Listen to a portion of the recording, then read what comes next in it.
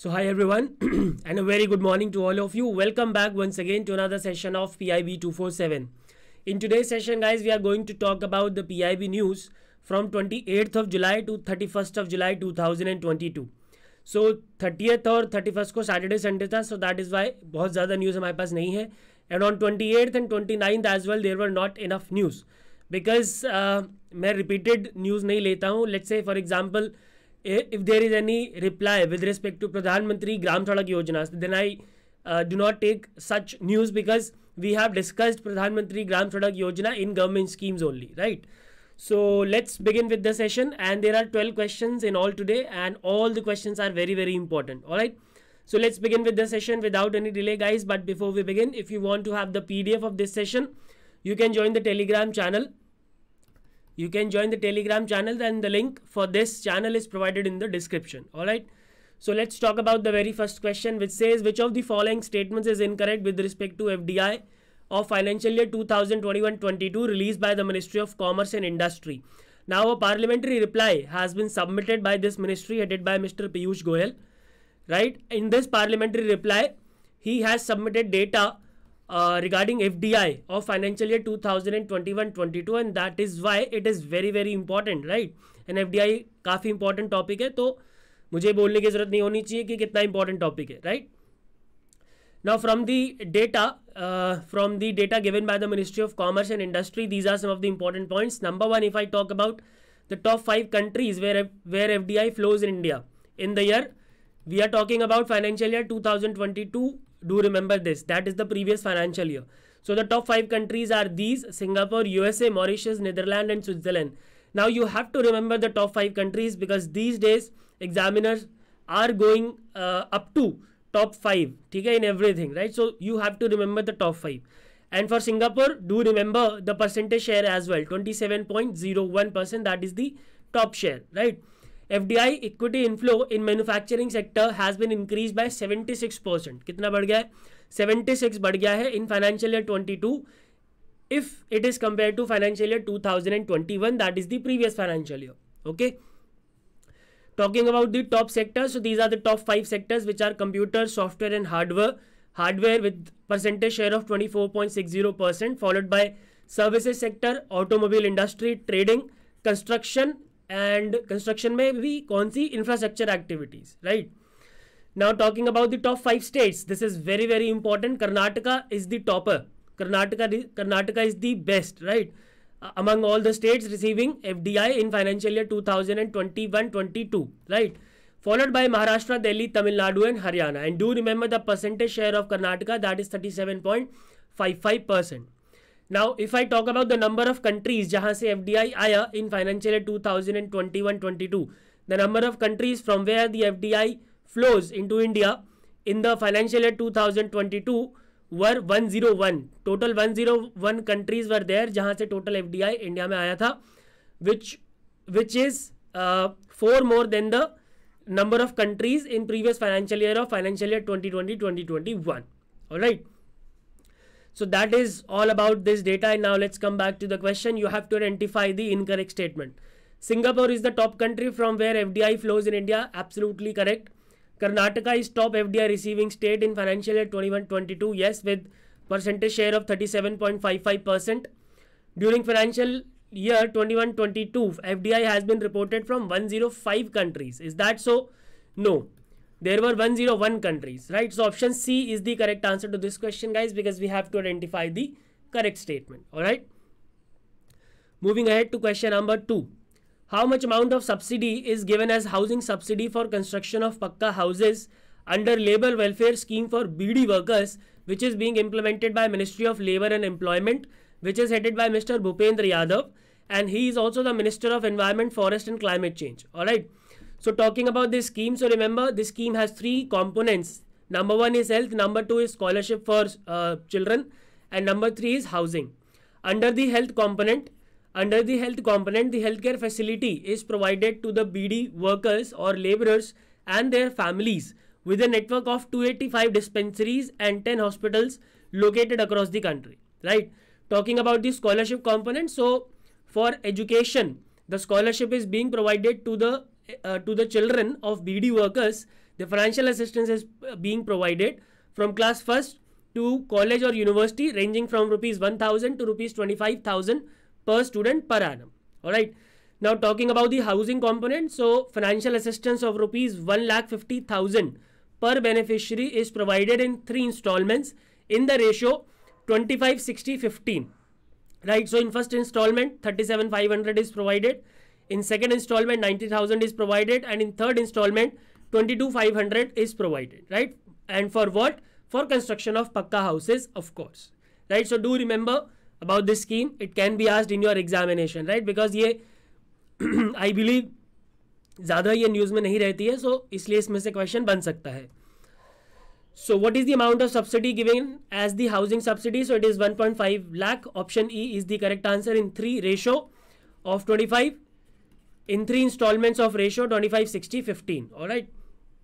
Moving ahead to question number 3. What is the project sanctioned cost for National River Conservation Plan for other rivers being implemented by Ministry of Jal Shakti which is headed by Mr. Gajendra Singh Shekhawat. Right.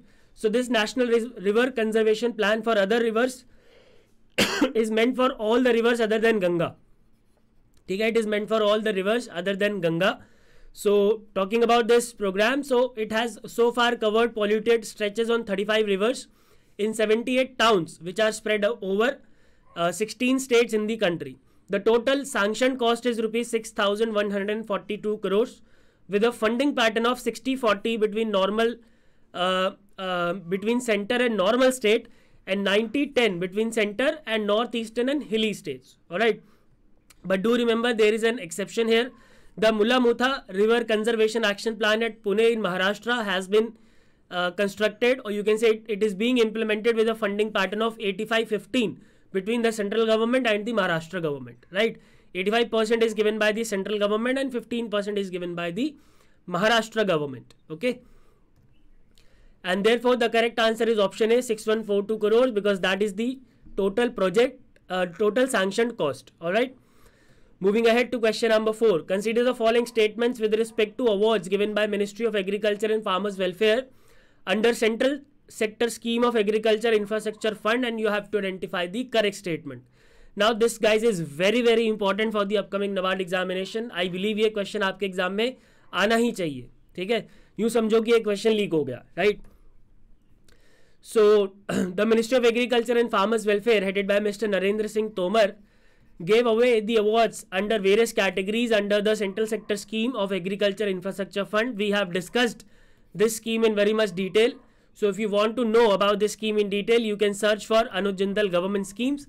There you will find a playlist. उसमें आपको ये scheme मिल जाएगी अभी मैंने recently ही discuss करी है right. Now the awards have been given to honor banks and state governments for their valuable contribution in financing various projects under this particular scheme right So अगर हम अलग अलग कैटेगरीज की बात करें so first first category is the numero uno bank number one is State Bank of India followed by Punjab National Bank and Bank of India right then if I talk about the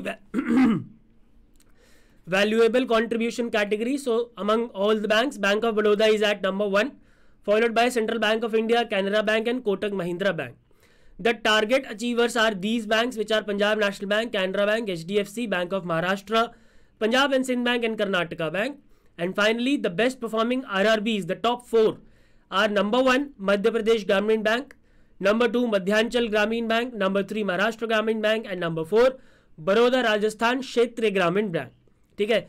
so so, इसमें topper याद रख लो that is enough topper भी काफ़ी है अगर आपको topper भी याद हो गया तो that is enough right now talking about the awards given to the state government so among all the states the best performing state is Madhya Pradesh The best performer in sanction of PACS application, it is Andhra Pradesh. Right? PACS is what? Primary Agriculture Credit Society. Best performer in faster disposal of PACS application is Karnataka. However, the Rising State Award under the scheme has been given to Rajasthan.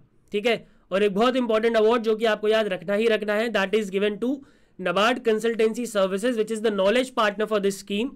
And this consultancy service uh, was honored for laudable contribution in carrying forward this scheme. All right. So that is all about the awards. And now let's come back to the question. Best performing state is Uttar Pradesh. No, it's Madhya Pradesh. Performing R R B is Madhya Pradesh Gramin bank बिल्कुल सही बात है and rising state under the scheme is not Karnataka it is Rajasthan So only 2 is the correct answer guys to this question because we have to identify the correct statement. Alright, option B is the correct answer. Moving ahead to question number 5. Which ministry has collaborated with Ministry of Electronics and IT headed by Ashwini Vaishnav to create responsible AI for youth?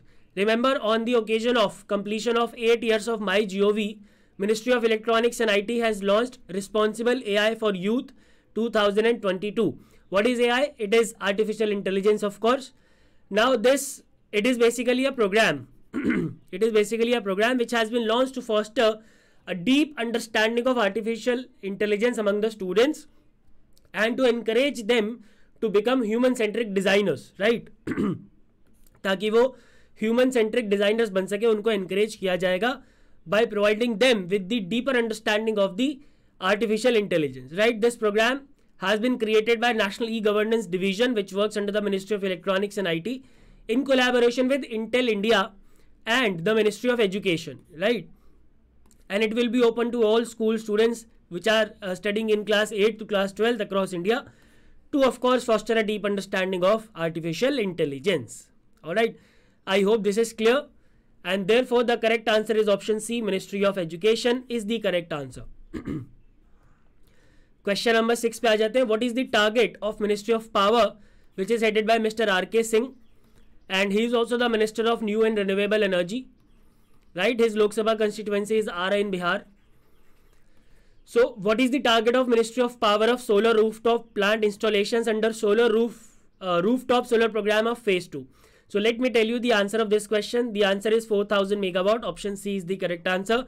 And it is in news because there was an event that was organized by ministry of power which is known as Ujjwal Bharat Ujjwal Bhavishya Power at 2047 right? Ujjwal Bharat Ujjwal Bhavishya Power at 2047. Right, and during this event, remember another important news. Uh, during this event, Prime Minister has launched the revamped distribution sector scheme. Now इसके बारे में हम पहले भी पढ़ चुके हैं. Now it has been formally launched, and it has been launched with an objective to improve the operational efficiencies and final sustainability of the distribution companies.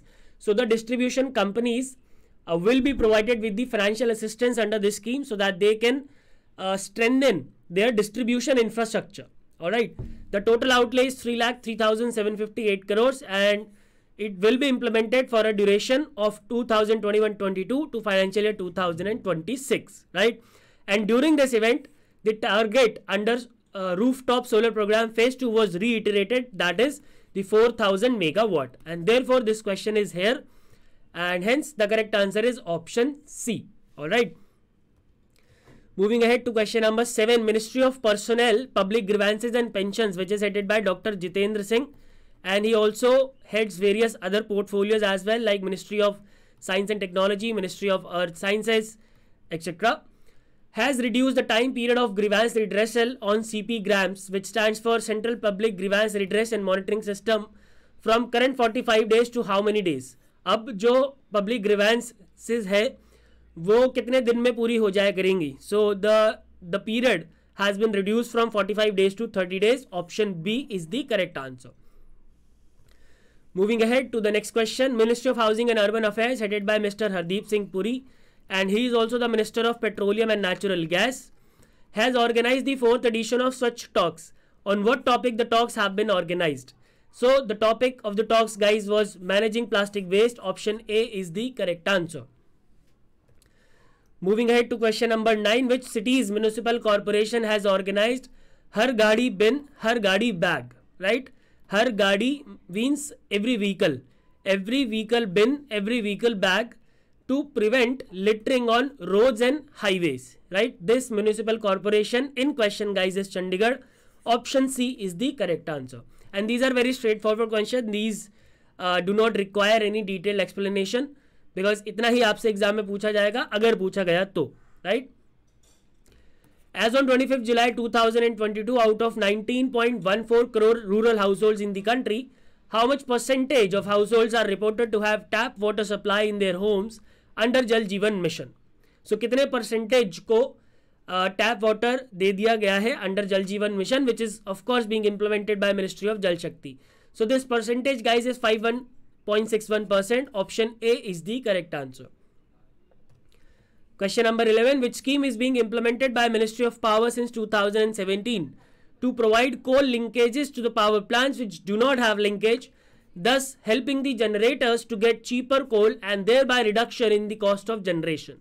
right the scheme in question right आपको just identify करना है और इस scheme में इससे ज़्यादा पढ़ने की ज़रूरत है नहीं just remember it is being implemented by ministry of power since 2017 with this objectives which is mentioned here.